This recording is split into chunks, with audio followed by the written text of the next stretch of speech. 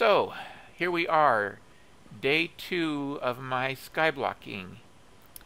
And we ended last time with cooking some fish in the frying pan. And I have a fishing rod. And at some point I will set up an automated fisher. And I will probably adjust these. Oh, hello, Lightwave. You You're looking all decked out. You didn't even notice I was standing behind you with a knife. No, I didn't notice that you were standing behind me with a knife. Not until you got walked into my face. Meow. So is this a present? A warp book with two of 54 pages. Yeah, I kind of want to show off my island a bit. Oh, well, that sounds like a plan. So I, I take it I right click on it. Okay, and warp to waypoint, Lightwave. Let's see. Okay. And so I wait for it to load, and I've got this. Oh. All right. So I walk to the edge and I take a look. All right, so we've got this nice big runway. Oh, Runway. That's a bridge. okay, we've got this nice big bridge, and It goes back to the hub. it goes back to the hub. Okay. So you built your bridge to the hub at a Y of 64. Oh, I didn't even pay attention to the Y. Why not?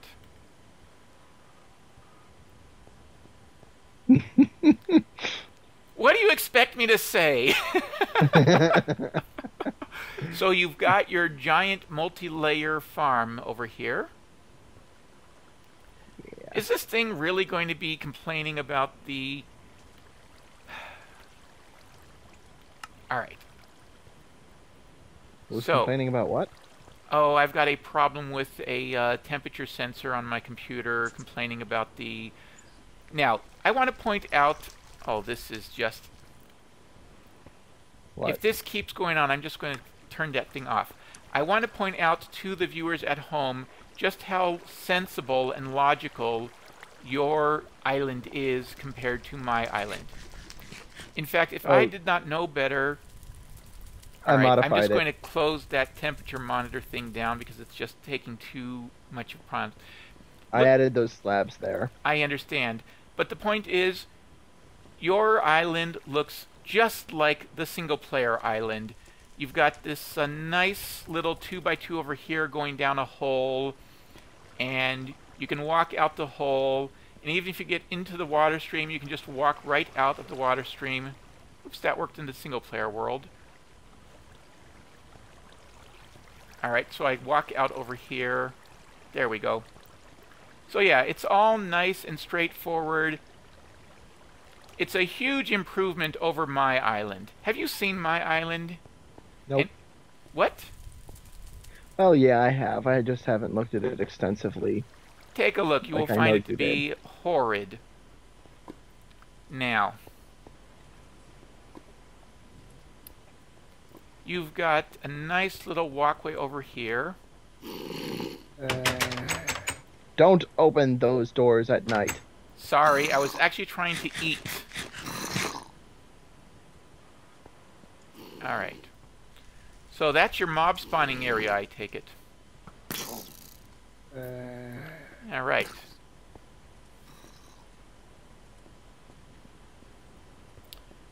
And over here is your tree farm. Ooh, pretty. Slime tree. Yep. And I know I heard a villager. Yep. And what is His stone barrow sucks. with a villager? Yeah, I built this thing originally to contain a blaze. Oh, okay. And what trade my does he have? Um, Emeralds for sure. a sword.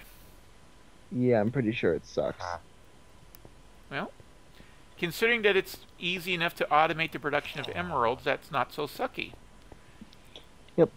now, This is my machine that cranks out soul sand. can you please explain how this machine that cranks out soul sand works? It's a self-powered matter generator. It makes sand and dirt A and soul sand. self-powered matter generator. Okay, over here.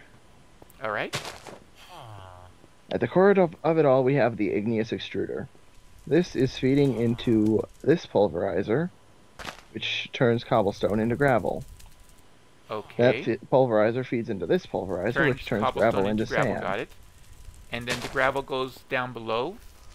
Yep, and turns to sand. Uh-huh. And I just opened it up a bit so that it would, uh, Okay. I, I- I come in and skim a little gravel and sand off the top every now and then so that it, uh, or so that I can sift them and whatnot. It. Anyways, the igneous extruder is also feeding into this crucible over the flame, making lava, which, if you'll follow me, Just a second. Okay. The. Okay. How does the crucible generate lava? it melts cobblestone from the flame. Oh, Now, oh, so you'll- oh, I see. The igneous extruder on top is generating cobblestone to feed both the crucible and the pulverizer. Yep.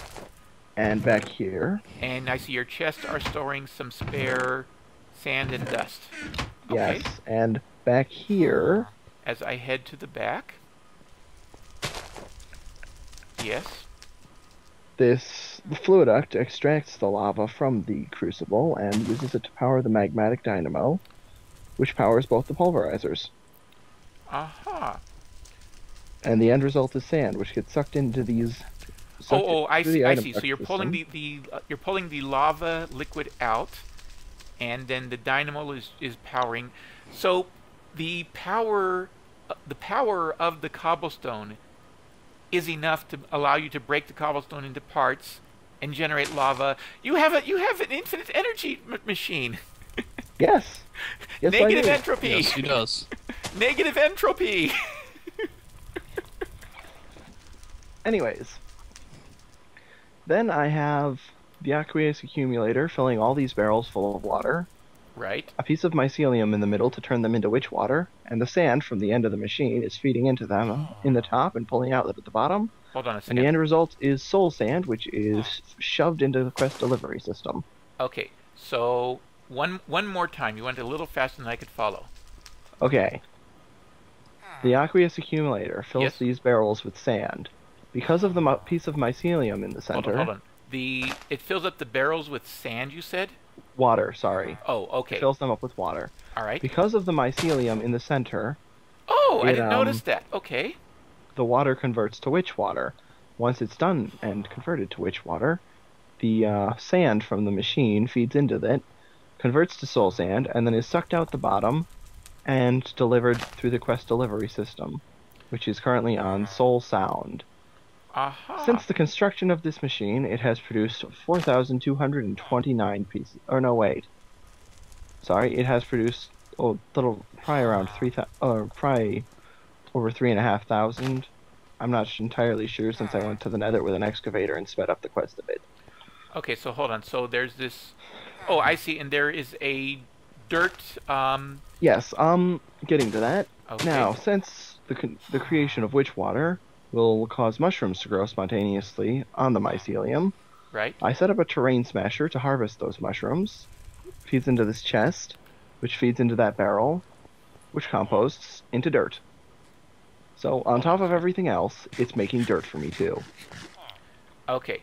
So to make sure I understood that, the mycelium, the generation of witch, uh, the generation of witch water, I saw, will make mushrooms. The terrain smasher will smash the mushrooms. The terrain smasher will then put those mushrooms into the chest.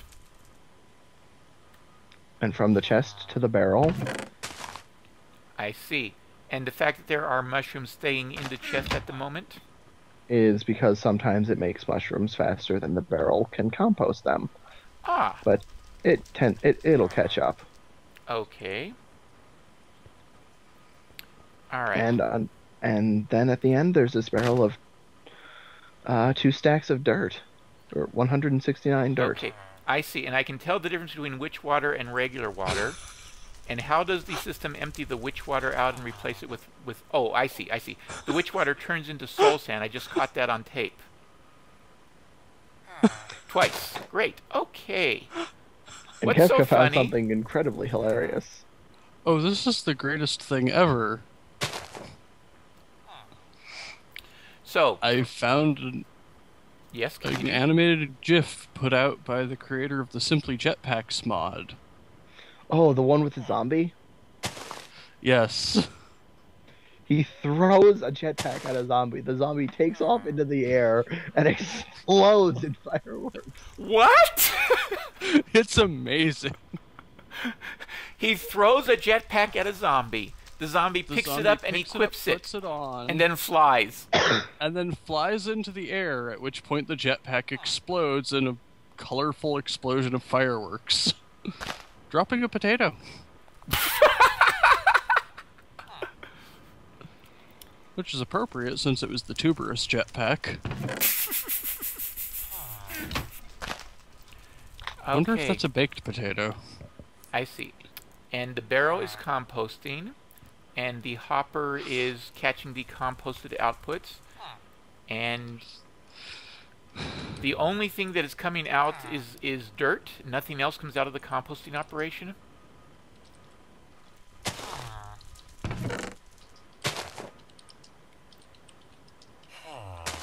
The um, I'm asking a question. Is the only thing that you can get from composting mushrooms dirt? Hello. I'm sorry, what? Is the only thing that you can get from composting mushrooms dirt? The only thing you can get from composting anything is dirt. Oh, oh, I'm confusing composting and sieving. My apologies. Sifting, sifting, not sieving, sifting. And here you have started your blood magic. Whoa. All right. Yes. Would you like to make a donation? Rune of augmented capacity. And this is your altar. Okay. And yeah, I really need to keep working on it. I'm probably going to need help blood making the rune, augmented capacity, blood rune. Okay. And I won't ask you to explain blood magic at the moment because I'm not even close to being ready to start it. Is this a level 2 or level 1? This is a level 2. Okay. Level 1 is just the altar. I really should upgrade it to a tier 3 as soon as I can, but All right. And does moss stone spread on its own? no.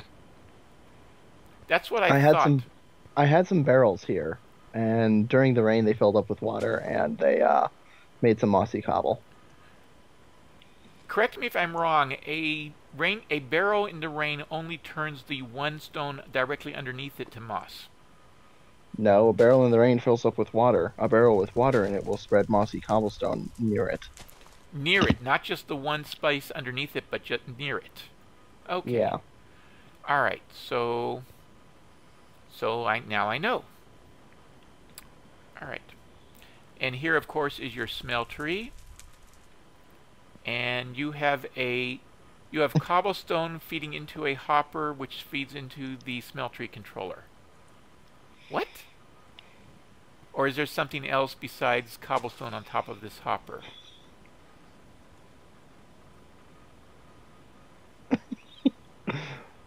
Hmm?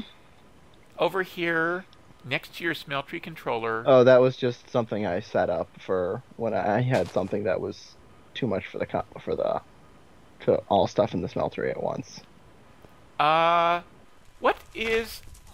Okay, I have never seen Tinkerer's Steelworks before, so this second furnace, the high oven controller, and scorched drain, this is all news to me. Hi, see my armor? It's made out of steel. Yeah, I... Correct me if I'm wrong, but I thought you made steel by putting um, uh, iron along with gunpowder, sand, and um, something else in a blast furnace and getting it really hot and and cooking and oh that's right coal. Coal sorry coal Isn't sand. that RotaryCraft? yes it is This isn't fucking RotaryCraft. well i'm sorry but that's the only steel i know you don't know railcraft? what Railcraft. It has steel. yes but i don't use railcraft keep in mind i took a look at railcraft a while ago only to find that it was it looked more like for people who were interested in doing um, a model railway road simulation or a real full full-fledged railway company type of thing and less a simple I want to get get a minecart from A to B. Yeah. I I, I mean s- s- the It's also very useful for people with forestry because creosote oil can be used interchangeably with seed oil. Yes, but everything that you do in there is all about the creosote oil, it seems. Ooh, something just went into the river. Squidworth. Key, um, Yeah? I hate to tell you this, but in the early days when I used Railcraft, Yeah?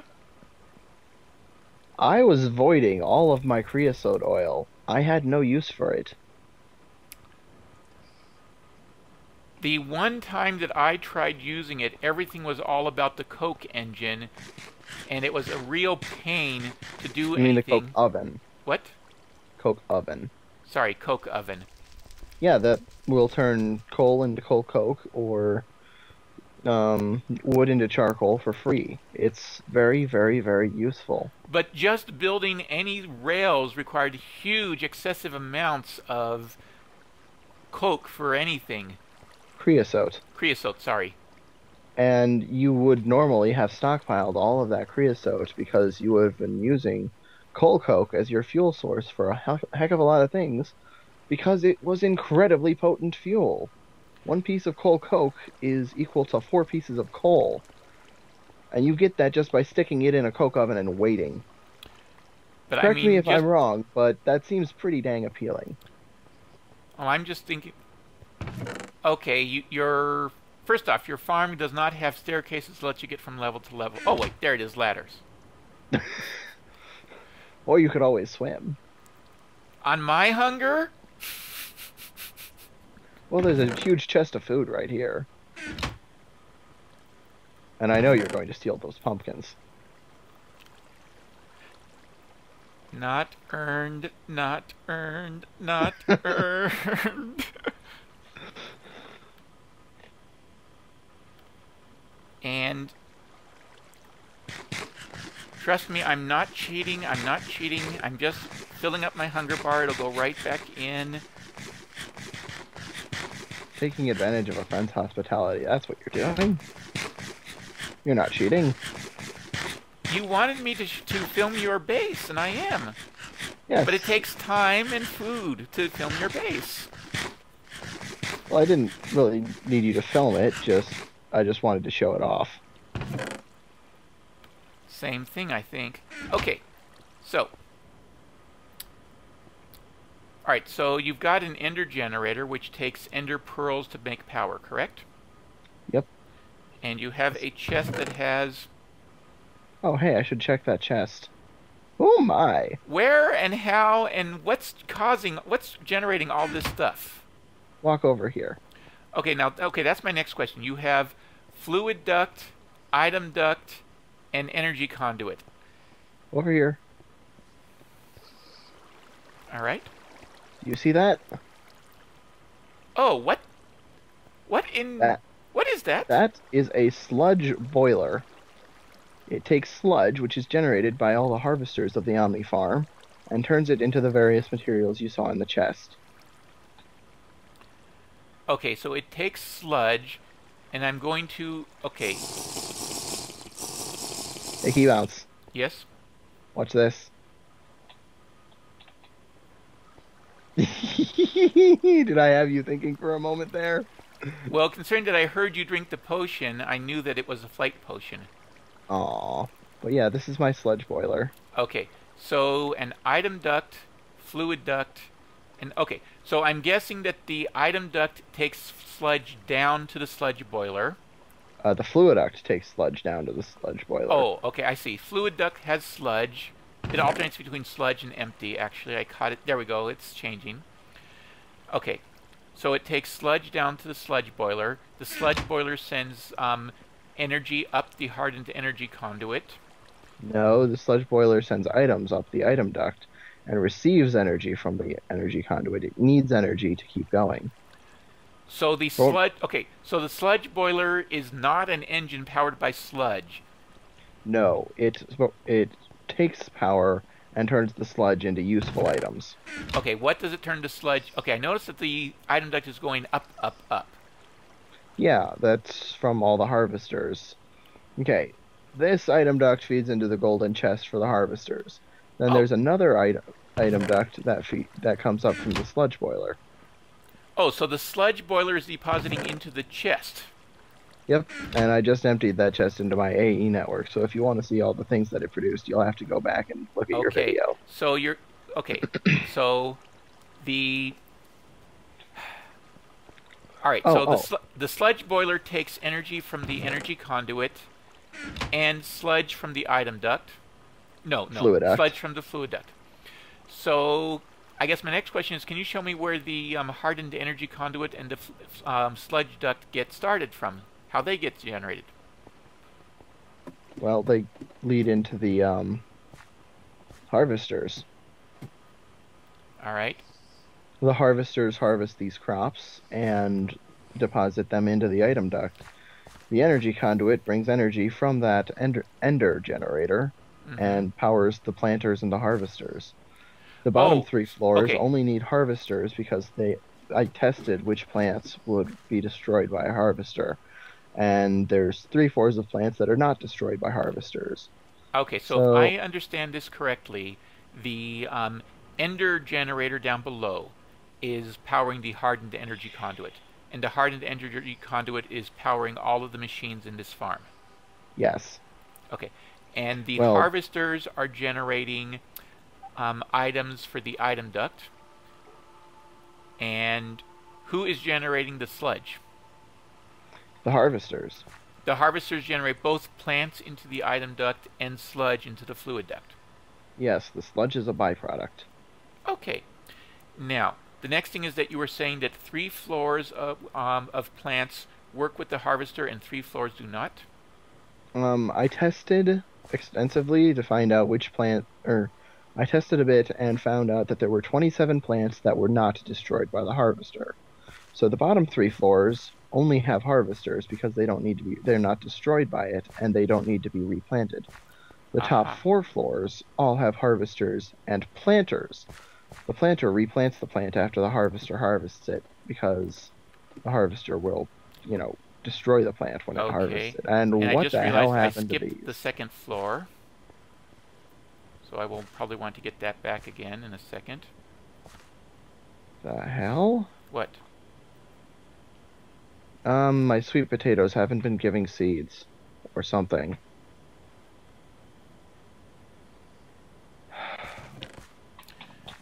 So, alright, I'll get that out in a second. Cucumbers, corn. Can coffee beans be turned into drinkable coffee yet? Yeah, but it's really weak. It's really weak. There are my sweet potato seeds. Why didn't they go? Oh my goodness, did I forget to set the item duct? What's wrong? Okay. So now we're up to the fourth floor, and these are the uh, these are the places where the plants are destroyed by the harvester. So I am So on there's your a planter what? underneath. So there's a planter on the bottom level of the floor that replants the plants. All nine patches. Okay, where is the? Okay, I'm. Maybe I'm on the wrong floor, but I don't see a planter block. Look up. Oh. and I'm sure YouTubers are laughing at me right now. The planter for this floor is actually underneath this piece of farmland. It has to be placed underneath the place it's planting on. Oh. And But if you look in the GUI, it has this filter. All right. I'm oh, to parsnip, peanut, garlic, onion, pineapple, ginger, oat, lettuce, leek. for your benefit, I am going to do this. What? This what? is- did- oh. Ah. See the colors? Yes, I do. They determine in the filter which direction each one is planted. Okay. This it fits into my farm design absolutely perfectly. Okay. Cauliflower, celery, asparagus. Cauliflower, celery, asparagus. Okay, so the first thing I'm noticing is that your planter has a nine item filter, and next to it are 16, I guess they're um, plot lot layouts, but only nine are being used. Yeah, 16 um in that's that's his inventory for the seeds. Yeah. Okay. I blocked off the others so it wouldn't get clogged with seeds. Or so it wouldn't get clogged with carrots basically. I see. And then as as soon as um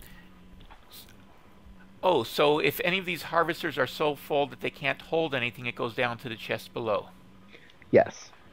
So when this one is the one I'm looking at, for example, shows 16 bean seeds and 17 beet seeds. So I can expect that there are no bean seeds or beet seeds down below because they haven't filled this guy up yet.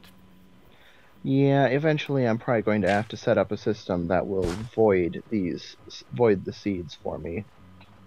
But that's off in the future a bit yet. All right. Okay. So, something that I'm very curious about a 3 by 3 patch is not really an ideal size. Is that is did you use that size because uh, there's something about the planter that requires it to be a 3 by 3? No, I just like the design. Okay. And honestly, this entire place is automated and it's self-sustaining, so I don't really need it to be incredibly efficient. I've got all the time in the world.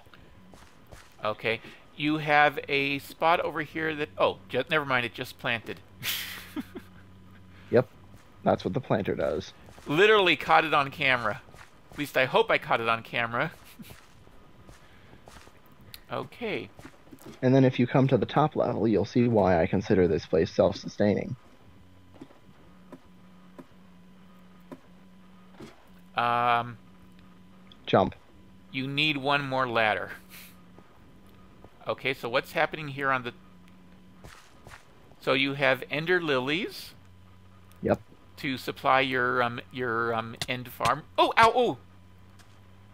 Yeah, and what's powering this place? ender ender pearls. Exactly. I wonder if these have generated any extra seeds. Nope, not yet.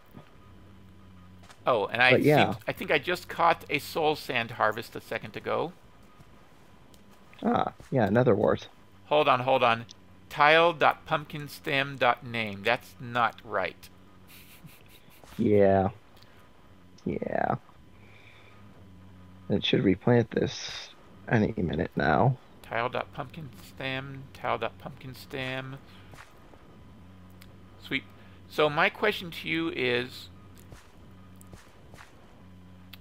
when it's planting, how does it know not to mix things up? For example, I'm looking at two empty spots in the sweet potato section. Oh, there it goes. How does it know to put sweet potatoes in those spots and not something else? That filter I showed you. Don't you remember? You saw the colors on the top of the machine? Yes. That indicates which direction it's going to plant those in. Ah. Is the planter only able to deal with nine directions, basically? I or think, nine yeah, plots? nine directions. I don't know. I just found that this worked and I decided to stick with it. I don't know how big I can make it. All right. Hmm. Okay. All right. So, Ender pearls power everything, and this thing provides you with ender pearls. And if Yep. anything, you probably need to make more ender lily plants than that, right? What do you mean? Are these nine ender lilies, given how slowly they grow, enough? Yeah. Um, Keybounce. Yes? I kind of hate to say this on camera, but the ender generator is just a bit overpowered. One ender pearl will keep that baby running for 20 minutes. So one ender pearl will run it for a day. You have nine, so you make. No, Wait, no, wait, wait, wait, wait, wait. wait. outs. One, or at least it's overpowered for this farm. It's way more than it needs. One ender pearl will keep that thing running, and this farm, or for, it will keep it running for 20 minutes, and this farm does not burn through enough energy to exhaust that. So af- it'll fill up its internal battery, Mhm. and after the ender pearl is fully used up, it'll take it another 20 minutes or so to you to burn through the internal battery of the ender or of the uh, generator. Okay. Here's what I'm noticing. It takes. If I added a few, if I added a few extra batteries, I could probably run this thing for like two hours off a single ender pearl. Okay, here's what I'm noticing. You, each ender lily takes about one week to make an ender pearl. So in one week you generate nine pearls. And One in-game week. yes, one about in-game three week. hours. i- what, well, one in-game week is seven times twenty minutes. In seven times twenty 24 minutes. minutes. What? Isn't it 24 minutes? No, it's twenty minutes for a Minecraft day. I thought it was 24. 20. In 7 times 20 minutes, you consume 7 pearls and generate 9. So it is already um, self sufficient, even before you take into account the fact that the generator is overpowered and has a buffer. Yeah, I'm getting surplus ender pearls from this. Yes, you are. Are you getting ex- Are you getting any spare ender lilies? Are, um, I, do they have a chance of, of making extras? They have a chance of making extra seeds, but I haven't gotten any from that yet. Oh, Not So- from auto farming them anyway. I got a couple from when I still had a manual farm. ah, okay. And do you have, um, is there something wrong with your throat? nah, maybe a little. Oh, I thought maybe you were trying to tell me something or point something out to me that I was overlooking.